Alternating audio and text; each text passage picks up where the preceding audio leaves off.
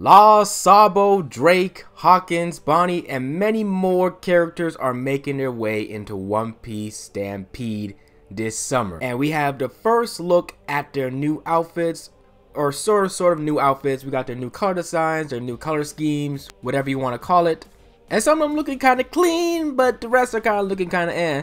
But before we get into this, guys, be sure just to hit the like button. You know, I'm not someone who fishes for likes a lot, but if you enjoy my content, if you enjoy me talking about Stampede and you want to see more of it in the future, just hit the like button. Just let people know about this content because not many people are covering Stampede like how I'm covering it. Likes are very important on YouTube, so hey, help a brother out. Anyway, let's get on to the color designs. So for the most part, these colors gotta look like basic redesigns. So let's start off with Law. Law's wearing a yellow jacket and orange pants with the polka dot print on it. And honestly, it's more like another variation of his Dressrosa outfit, but with a different jacket. I'm not sure I really like the orange and yellow combination. It's a little garish, but it's alright.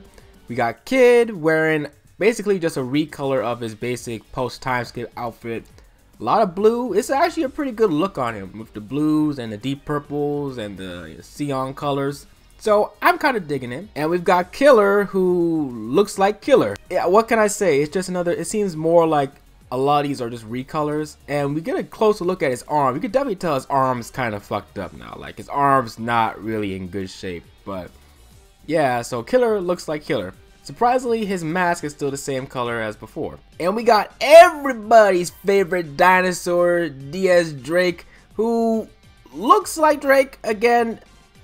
Pretty much his basic design, except the fur around his jacket is now green, which with that color for his hair does not really work that well. And speaking of his hair, it's a, it seems more like a darker brown than an orange color. Anyone notice that? That's interesting. And probably one of the worst out of the bunch, Basil Hawkins. Hawkins, what they do to you, man? Look how they mess with my boy.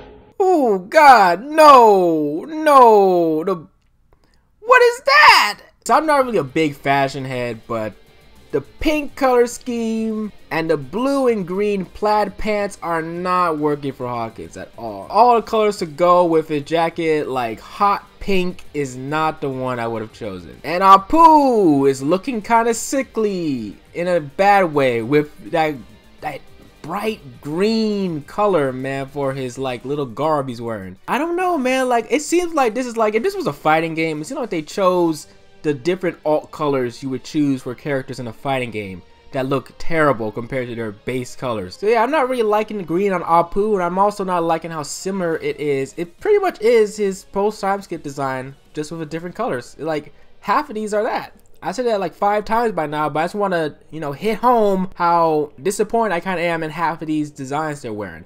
But there is one that I am digging, and that is from Capone, because it's basically his usual suit design.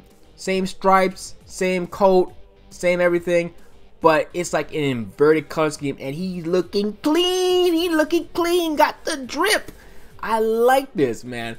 Honestly, this is probably better than his base design. Just the white goes well with him with that mafioso look. It looks clean. It looks good. It looks mwah. I like it. And uh Urouge, uh yeah, uh the less said about Urouge, the better.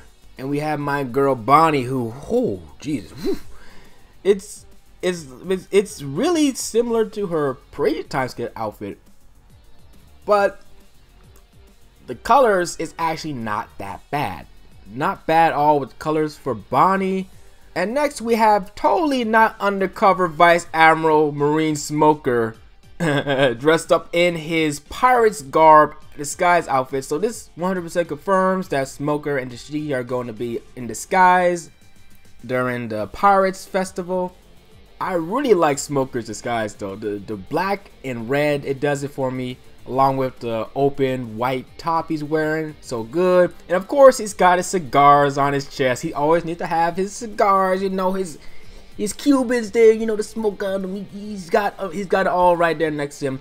And he's still got his Jute or Jite, I don't know how you still pronounce it. I always get it mixed up on his back. Now Tashigi, we see both her pirate outfit and her regular marine outfit. Uh, basically, she just put on a hat. she just put on a hat and a scarf, and it's it's all right. It works. It works. You know, she looking good. You know, uh, a lot of purple, blue, and pink. It works for her because you know she's always had that pink coat and purple and and I guess hot pink kind of works better with her color scheme. It's closer to her usual colors design. And then we get to the real travesty. Oh my god, Sabo! Oh my god! What did they do to you? What is that? No! okay. I see what they were trying to go for with the long cloak, the long bun of cloak. The white tie is nice, but the entire cut scheme is a complete disaster. It's a fucking train wreck. Why does he have bright cyan blue, dark red, and brown mixed together? That's the most unappealing colors ever. Like I said before, I'm not a fashion head.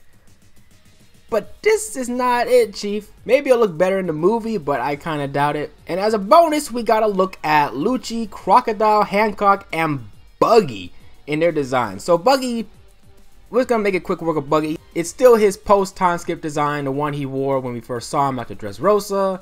That big imposing fucking red carpet he's put on.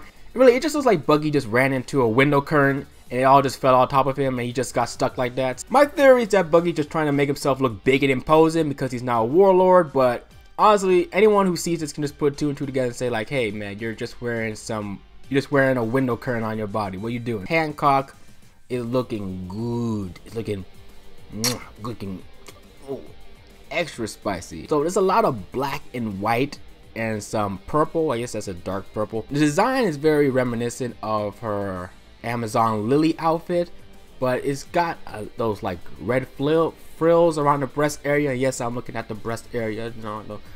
Don't judge me! And Lucci and Crocodile are looking mighty fresh right now. Lucci with the blue and black and white.